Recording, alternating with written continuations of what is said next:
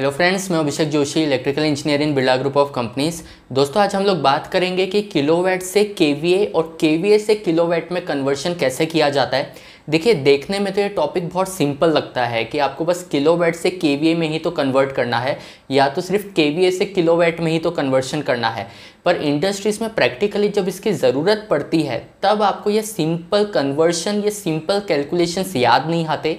और ये भी एक फैक्ट है कि इंडस्ट्रीज़ में नॉर्मली हमें जिन चीज़ों की ज़रूरत पड़ती है, वो ऐसी सिंपल चीज़ें ही होती है। इंडस्ट्रीज़ में भी आपसे ऐसे सिंपल चीज़ें ही पूछी जाती है और इंडस्ट्रीज़ में प्रैक्टिकली जो भी आप कैलकुलेट करते हो, जिस चीज़ के आप एनालिसिस करते हो, उन सभी चीज़ों में इस तरीके के नॉर्मल कैलकुलेशंस नॉर्मल कन्वर्शंस ही आपके काम आते हैं। तो दोस्तों, बिना टाइम वेस्ट किए शुरू करते हैं।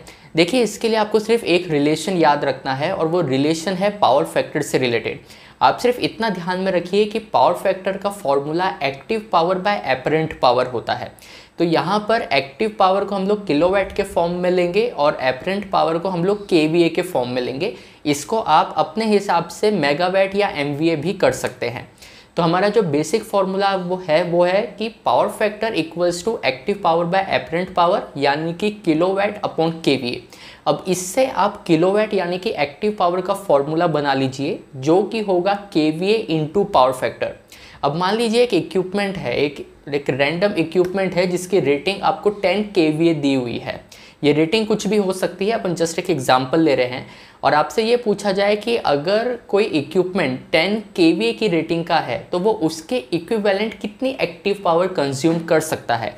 यानी कि अगर ये इक्विपमेंट 10 के की कैपेसिटी का है, और इसी को अगर मुझे एक्टिव पावर के फॉर्म में बोलना हो तो ये कितने किलोवाट का पावर कंज्यूम कर पाएगा?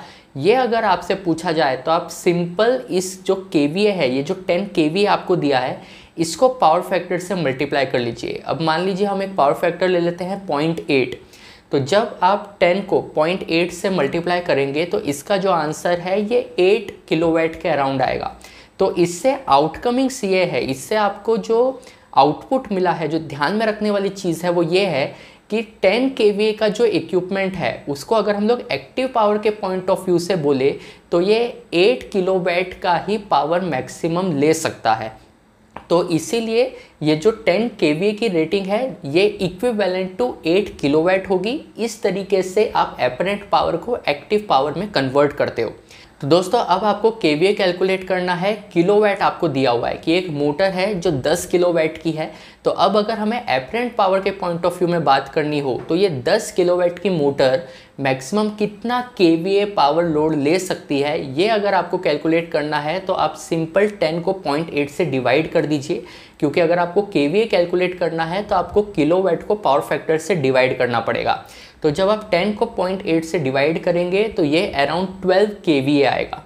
तो इससे हमें ये पता चला कि जो 10 किलोवाट की मोटर है, ये जो एक्टिव पावर की रेटिंग हमें दी हुई है, इसको जब हम लोग रिएक्टिव पावर में कन्वर्ट करते हैं तो सबसे पहले तो हम लोग पावर फैक्टर से डिवाइड करेंगे। और इससे आपको एक चीज़ ये भी ध्यान में रखनी चाहिए कि जब भी आप एक्टिव पावर को एपरेंट पावर में कन्वर्ट करते हो तो वो रेटिंग बढ़ जाती है। और जब भी आप एपरेंट पावर को एक्टिव पावर में कन्वर्ट करते हो तो वो रेटिंग कम हो जाती है। ये भी चीज़ आप ध्यान में रखिएगा कि जब हमने के को किलो में कन्वर्ट किया था तो केवीए से रेटिंग कम हो गई थी किलो में। और जब हम एक्टिव पावर से एपरेंट पावर निकाल रहे थे तो 10 किलोवाट की मोटर 12 के के इक्विवेलेंट हो गई थी जब हमने एपरेंट पावर के पॉइंट ऑफ़ व्यू से बात की थी। तो कैलकुलेशन सिंपल है, पर इसमें जो तीन चार मेन पॉइंट्स आपको ध्यान में रखने हैं, आप उसको भी कलेक्ट करते जाइएगा, क्योंकि ये सिंपल सी चीज़ें ही दो तीन अलग अलग वे में आपके सामने इंडस्ट्रीज़ में प्रैक्टिकली भी आ सकती है और आपके रिक्रूटमेंट प्रोसेस में इंटरव्यू में भी आ सकती है। तो दोस्तों, ये बेसिक टॉपिक अगर आपको पसंद आया हो तो मुझे कमेंट बॉक्स में बताइएगा। मैं आपसे मिलता हूँ कल ऐसे एक इंटरेस्टिंग टॉपिक के साथ। तब तक अपना ध्यान रखिए। Good bye